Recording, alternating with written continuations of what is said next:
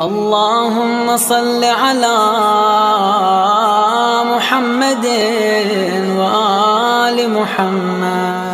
أعوذ بالله من الشيطان الرجيم. بسم الله الرحمن الرحيم. الحمد لله رب العالمين. الصلاة والسلام على محمد وآله الطيبين الطاهرين. واللعنة الدائمة الباقية على أعدائهم أجمعين.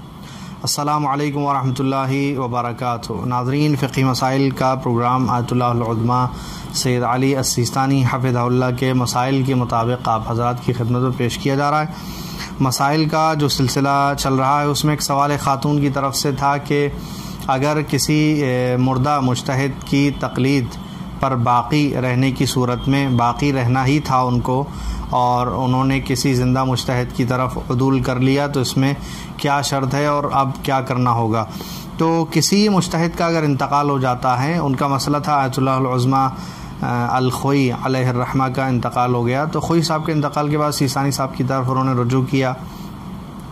تو کسی بھی مشتحد جس کی آپ تقلید کرتے تھے ان کے انتقال کے بعد عالم کی طرف ہی رجوع کرنا ہے یعنی اگر زندہ مشتحد اس مردہ مشتحد جن کا انتقال ہو گیا، ان سے زیادہ عالم تھے، تب ان کی طرف رجوع کیا جا سکتا ہے۔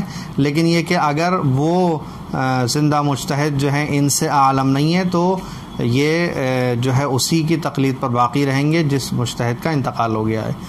یعنی ان کے اوپر لازم ہے، واجب ہے کہ ان کے وہ مسائل جو وہ بتا کے گئے ہیں، کتابوں میں ہیں، اگر وہ عالم تھے تو انہی کی تقلید پر بقا کریں گے، باقی رہیں گے۔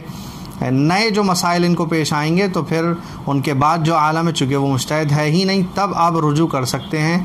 وہ زندہ کسی عالم مشتحد کی طرف جو عالم ہیں، زیادہ جاننے والے ہیں۔ ٹھیک ہے، لیکن یہ اختیار نہیں ہے۔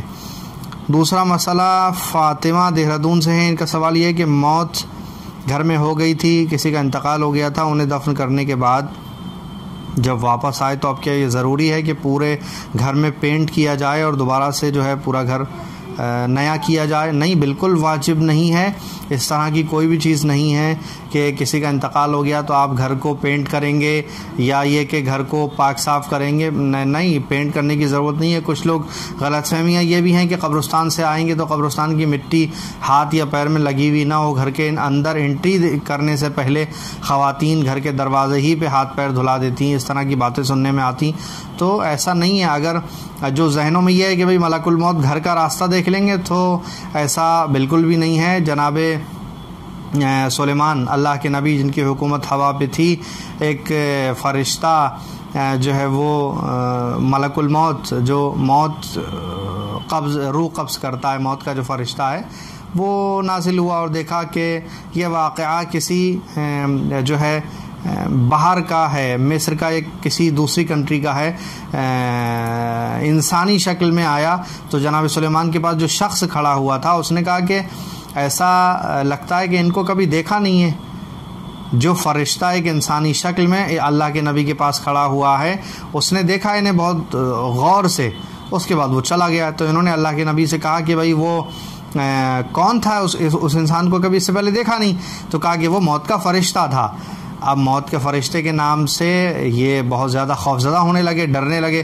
تو انہوں نے کہا کہ آپ کی ہواؤں پہ حکومت ہے، مجھے حکم کریے کہ میں ہندوستان پہنچ جاؤں۔ ہوائیں مجھے فوراً ہندوستان پہنچا دیں۔ تو ایک لمحے میں جناب سلیمان نے جو ہے حکم دیا ہوا کو اور ہوا نے فٹاک سے ان کو ایک دم سے جو ہے وہ ہندوستان کی سرزمین پر پہنچا دیا۔ تھوڑی دیر کے بعد وہ موت کا فرشتہ پھر آیا پھر آیا۔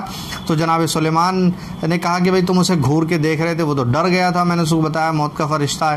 تو کہا کہ میں اس بات کی موت کے فرشتے نے اللہ کے نبی سے کہا کہ میں اس بات کی فکر میں تھا کہ اللہ نے اس کی موت کا جو وقت مقرر کیا ہے، اس کی روح قبض کرنے کی جو ٹائمنگ فکس ہوئی ہے، اس میں جو جگہ ہے وہ جگہ ہندوستان کی ہے۔ اور ہندوستان یہاں سے بہت دور ہے۔ تو سرزمین ہند پہ اس کی ایک معین وقت میں روح قبض ہونا ہے اور وہ وقت بالکل قریب تھا، یہ کیسے ہندوستان پہنچے گا؟ میں یہ سوچ رہا تھا۔ تو بس وہ ڈرا اور آپ نے جو ہے ہوا پہ سوار کر کے اسے پہنچا دیا اور اس کی روح وہاں سے قبض ہو گئی۔ تو یہ نظام ہے، اللہ کا، ہمیں جانا ہے، آپ کو جانا، سب کو جانا ہے۔ جس کا وقت آ گیا ہے، اسے کوئی نہیں روک سکتا، قبرستان کی مٹی نہ آ جائے۔ مردہ گھر سے نکل گیا ہے تو گھر پہ پینٹ کر دو۔ یہ ساری چیزیں ہماری شریعت اور فقہ سے اس کا کوئی بھی تعلق نہیں ہے۔ سوال ہے، سید جعفر علی مظفر نگر سے ہیں کہ لڑکا اور لڑکی کی ایسی فرینڈشپ جائز ہے کہ جس میں ان کے احساسات ابھرتے ہوں اور گناہوں کے بہت زیادہ امکان ہوں۔ انہوں نے لکھا ہے، تو دیکھیے، آپ کو تو خود معلوم ہے اور یہ بات بالکل کلیئر ہے۔ اگر گناہوں کا امکان ہے اور احساسات ابھرتے ہیں تو ایسے لڑکے اور لڑکی کی فرینڈشپ بالکل بھی مناسب نہیں ہے۔ نہیں کر سکتے دوستی۔ لڑکا اجنبی لڑکا اور اجنبی لڑکی نامحرم افراد بغیر نکاح کے کوئی بھی دوستی اس طرح کی جائز نہیں ہے۔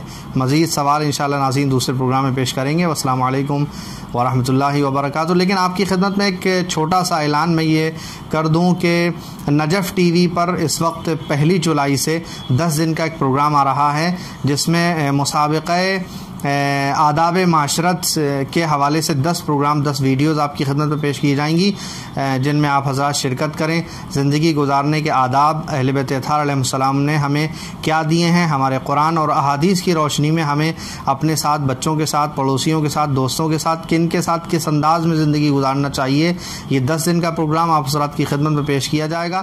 ویڈیوز ہی کے اندر سے سوال بنائے جائیں گے اور دس دن کے بعد انشاءاللہ آپ کو سوال بھیجے جائیں گے۔ جوابات میں انتخاب ہوگا فرسٹ سیکنڈ تھرڈ تین افراد کا اور اس صورت میں ان کو انعام دیا جائے گا۔ کوشش اور ہدف جو ہے وہ ہمارا یہی ہے کہ زیادہ سے زیادہ دین کی بات زیادہ لوگوں تک پہنچ سکے۔ ڈسکرپشن میں نجف ٹی وی کے لنک، یوٹیوب چینل کا لنک آپ کو دے دیا جائے گا۔ آپ چینل کو سبسکرائب کریں اور انتظار کریں۔ پہلی جولائی سے انشاءاللہ آپ حضرات کی خدمت میں پروگرام پیش کیا جائے گا۔ السلام علیکم ورحمۃ اللہ وبرکاتہ۔ مہدی مہدی